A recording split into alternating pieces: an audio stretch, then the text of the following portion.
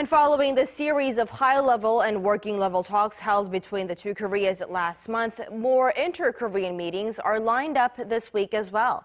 Representatives of Seoul and Pyongyang are meeting to discuss cooperation in various fields ranging from sports, forestry, infrastructure, and preparations for reunions of the separated families.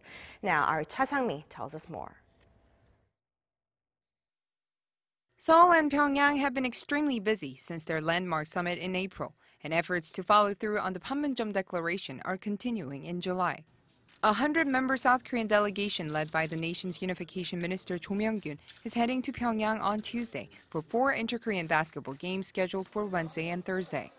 The group includes Minister Cho, four other government officials, 50 male and female basketball players, and a panel of referees, 30 members of the press, and 15 staff. This will be the fourth time the two Koreas have played basketball together. The last time was 15 years ago in 2003. Seoul and Pyongyang have agreed to hold the friendlies while discussing sports cooperation last month. At those talks, they also decided to field a joint women's basketball team at the upcoming 2018 Asian Games in Indonesia in August. Come Wednesday, the two Koreas will also sit down to discuss forestation projects.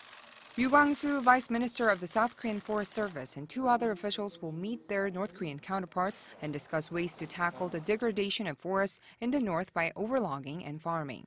The Forestation Task Force was the first to be launched after the April 27 Panmunjom summit, South Korea's presidential office deeming forestation the most urgent thing.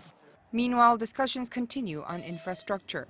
The joint inspections of the Gyeongui Road linking Seoul and the North Korean city of Sinuiju and the Donghae Road along the peninsula's east coast will begin in mid-July. Preparations also continue for reunions of families separated by the Korean War. Those are scheduled for a week starting August 20th at the North's Mount Kumgang Resort. On July 25th, the South and North will exchange lists of people who will possibly attend the reunions. But first, South Korean government will narrow them down to 250 people out of an initial 500 that were selected. Once the lists are exchanged, they will come up with a final list of participants, 800 from each side, by August 4th.